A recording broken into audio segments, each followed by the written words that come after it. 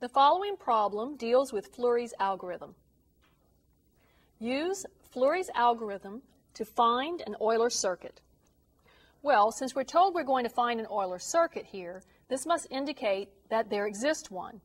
We can look at our vertices and decide whether they're even or odd, and we're going to quickly run through this. We have two edges off of A, meaning it's even, two edges off of B, one, two, three, four edges off of C, one, two, three, four edges off of D, one, two, three, four edges off of E, one, two, three, four edges off of F, four edges off of G, one, two, three, four edges off of H, two from I, two from J, and two from K. So we have all even vertices. We can choose any vertex to begin. Now, to begin with, then, we're going to start, let's just start from J. And what I notice is I can move from J to F. Now, once I'm at F, I'm going to think about either erasing it if I have a pencil, but if not, just go ahead and mark it so that you're sure that you are taking care of it and not coming back to it again. When you're going to try to determine where to go next, you have many choices. We want to make sure we choose an edge that is not a bridge. That is an edge that when we take it out would leave us with a disconnected graph.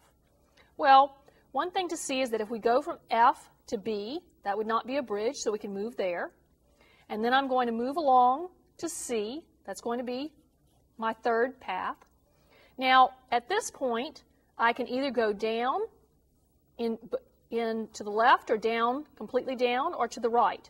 And really, you have a number of choices here because none of these is going to end up being a bridge. I'm going to go ahead and decide to go down back to F. From F, I now have only one choice, and that's to move over in this direction because I've already taken care of all the other edges from F. So that's going to be number 5.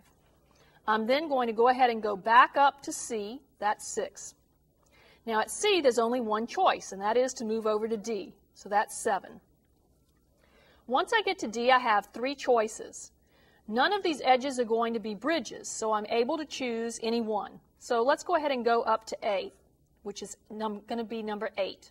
Once I'm at A, there's only one choice, and that's to move down to E along that edge.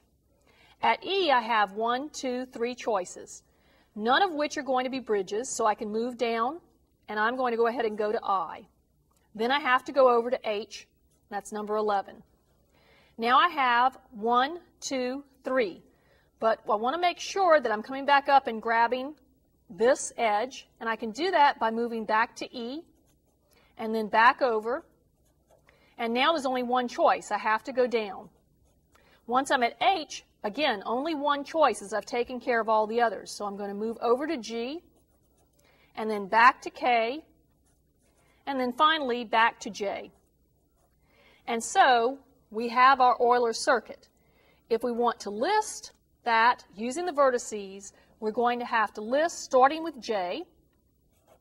We're going to go F, B, C. Let's find number 4. That goes to F. Number 5 takes us to G. Then number 6 takes us to C. Number 7 to D. Number 8 to A. Number 9 to E. Number 10 takes us to I. Number 11 takes us to H. 12 takes us to E. 13 to D. 14 to H. 15 to G. 16 to K. And finally 17 to J. And we have our circuit.